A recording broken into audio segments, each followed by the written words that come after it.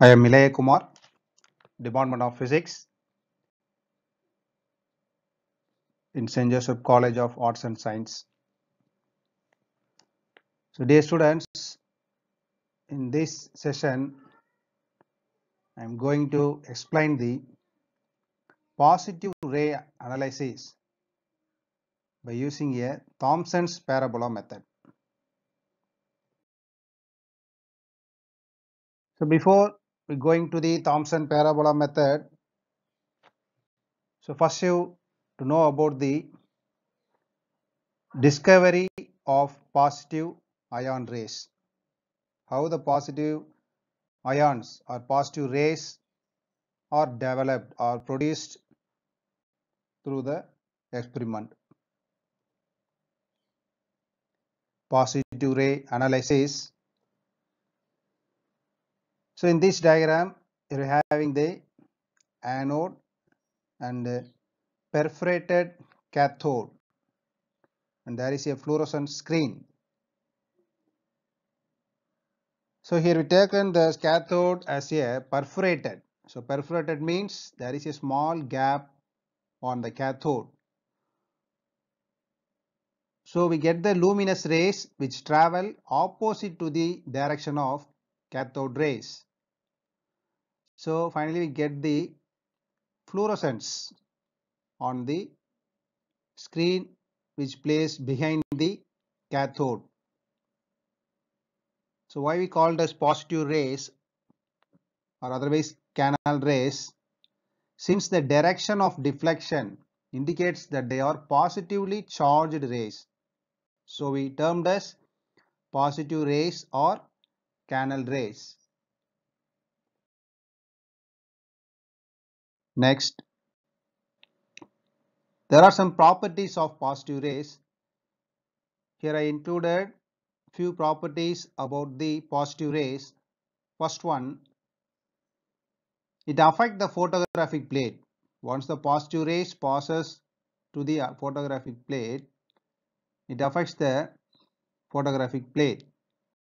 Then it produces a fluorescence that is a luminous rays on passing through some chemical element and also it penetrate the aluminum foils. So once we pass the positive rays through aluminum foil, it easily penetrate the substance. Second one, positive rays which is deflected by both the electric and magnetic field. When we apply the magnetic as well as electric field, the positive rays gets deflected. The direction of deflection indicates that it is a positively charged ions. Third one, the velocities of all the positive ray particles is not the same. The velocities of these rays ranging from 10 power 5 to 10 power 6 meter per second. It will vary for the different rays.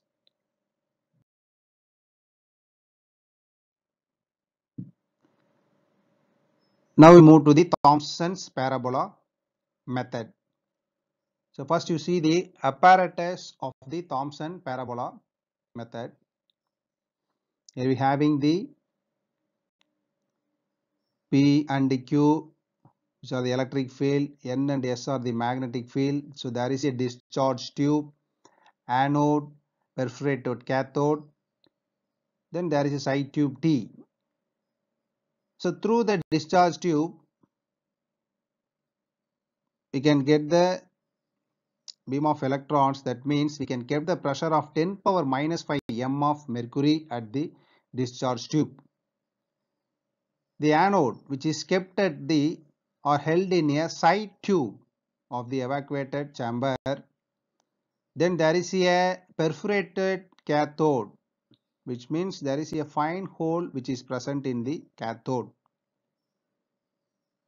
So through the capillary tube capital E you can get the stream gas of particles is allowed and which is circulated over the chamber A and finally pumped off at F capital F. So these positive ions in A is then subjected to parallel electric and magnetic field simultaneously. We can apply the electric and magnetic field simultaneously at a positive beam of ions. So in the diagram P and Q which represents the application of electric field and N and S which represents the strong electromagnet which gives the magnetic field. Then finally the beam enters into a highly evacuated camera which is mentioned by G and which is received on a photographic plate. Then we can observe a series of frames on the photographic plate which looks like a parabola structure. On the photographic plate, when we examine the photographic plate, we get a series of parabola structure. So T, a liquid air trap, which helps the pressure in G always quite low. So theory about the Thomson method So here we consider a positive ion of mass m, charge g and velocity v. When no electric or magnetic field is applied, what happens means the positive ion straightly strikes the screen at O, which is called undeflected spot. There is no deflection in the positive ion beams when, when we are applying no electric or magnetic field. Next we move to the application of electric field and the strong magnetic field applied. Action of electric field. First, we have to find out the displacement of the ion when we passing through the electric field which is given by the equation S equal to of capital X E by capital M into L by V whole square. So which comes under the equation of motion. So there are few equation of motions are there. How we get those equation? Here I mentioned through arrow mark that is S equal to of AT square. This is the equation of motion. So here A which is equal to XE by M. We get those value from basic equation Newton's law F equal to M into A equal to F by M equal to A. So here the F which is equal to the strength of the electric field xe then t equal to l by v those we can get the basic equation velocity v equal to x by t where in x equal to l in this equation x which represents the length of the path of the ion so x is the electric field strength l is the length of the path of the ion so what happened? After leaving the field, the ions moves in a straight line and finally strikes the plate at a distance x from O. So that x which is proportional to displacement s and the distance between the field and the plate also.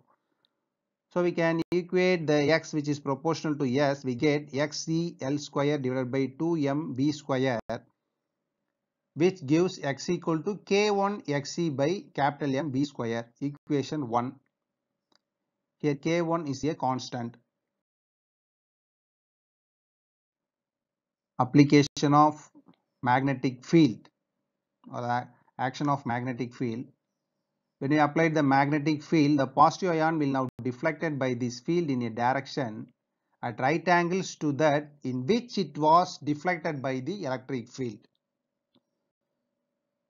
Thus, the beam of positive ions strike the plate at a distance y from O such that OY is perpendicular to OX in the plane of the plate. Then here also we have to find out the displacement of the ion just emerging from the magnetic field. So S dash in electric field there we put S but in magnetic field for the variation S dash symbol for the displacement S dash which is equal to of into BE B by M into L by V whole square which gives BE L square divided by 2MV. Then next what happened means after leaving the field the ions moves in a straight line and finally strikes the plate at a distance y from O. Here also y is proportional to s dash and the distance between the field and the plate. So here we write hence we here we write y proportional b L square divided by 2mb which gives y equal to k2 be divided by mb. Equation 2.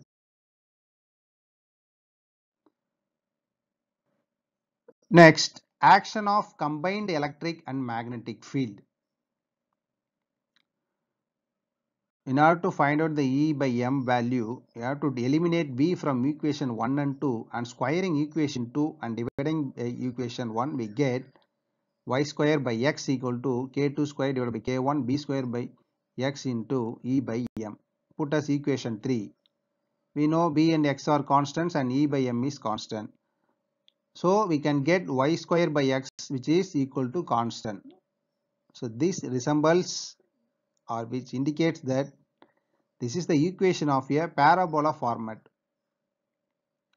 So as equation 3 is independent of V, particles of say E by M but of different velocities will fall on different points on the same parabola.